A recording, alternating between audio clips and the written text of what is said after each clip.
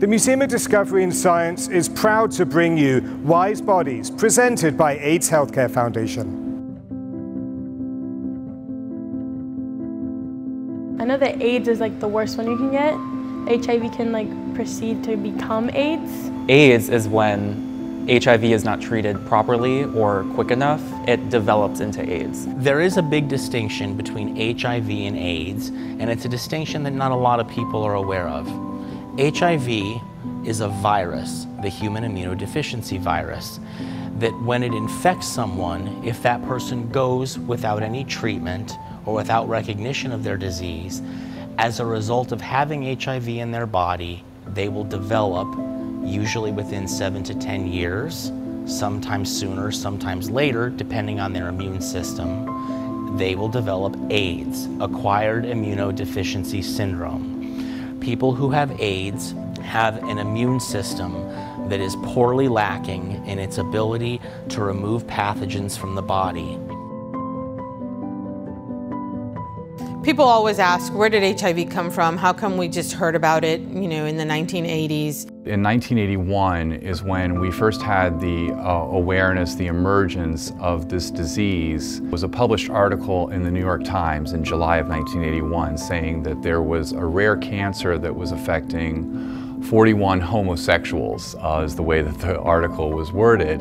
And what was happening to these individuals, that otherwise healthy individuals, were actually coming down with opportunistic infections, diseases, KS, Kaposi sarcoma, something that you would never see in these individuals. And they didn't understand what was causing it. But the only thing that they knew in common was they knew that they were all sexually active gay men.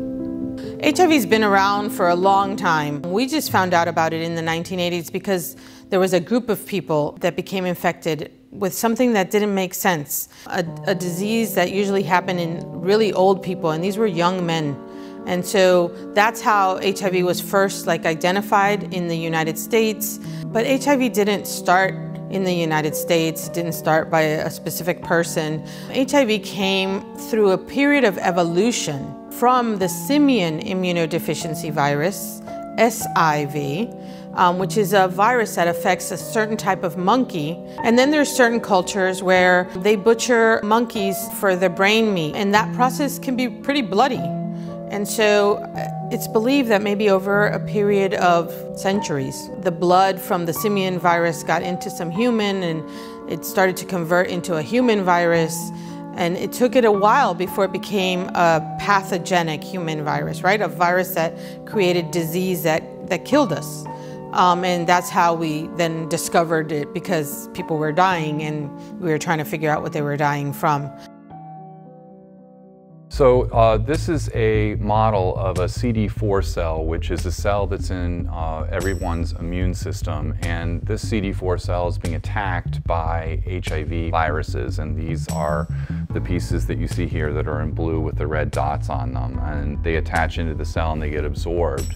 So what happens in an HIV infection is that HIV gets inside of the cell and it takes over the cell's functions using the cell to make more HIV in the system. So when you get infected, the amount of virus that's in your body shoots way up. We call that the viral load. The person's own CD4 T cells, cellular machinery is being overtaken to produce HIV proteins not its own protein. If this goes unchecked with no medication to stop the HIV from replicating, the CD4 cells die off. Let's take a minute to visualize. These packing peanuts represent those CD4 white blood cells that typically protect your body's immune system from opportunistic infections. This acetone represents the spread of HIV in the body. As you can see, it easily breaks down those cells. As HIV continues to spread through the body, if left untreated, it will continue to break down those white blood cells until the immune system is left defenseless against those opportunistic infections. This is why continuing your treatment and taking medications is crucial for stopping the spread of HIV and preventing the development of AIDS. If they get on appropriate antiretroviral therapy and they're compliant with their medication and their viral load drops and their HIV becomes adequately suppressed, their CD4 count can regenerate because the HIV isn't there anymore in enough quantities to keep stifling their growth and replication. Living a long, healthy life with HIV, in a sense, can be simple. One, two pills a day is all it takes to stay alive. It is still a big issue. A lot of that, I wholeheartedly believe, still stems from the concept of stigma. You can't just look at a person and just say, oh, they have AIDS. Like, or look at a gay person and be like, oh, they have AIDS.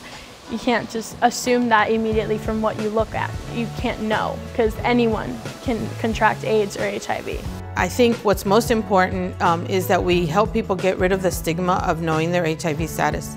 It's actually simpler to treat than diabetes. And if people get tested and get treated, we wouldn't have new people getting infected. Um, we know that if a person is on their medicine and their virus is controlled to that undetectable level, which is the, the goal of medicine, they cannot pass it on.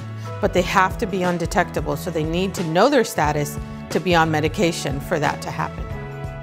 What teenagers can do to really help themselves and be protected is empower themselves, to know the information, to be able to be the source of information for not only themselves, but their communities and friends around them. So the more you know, the more you're going to be able to protect yourselves.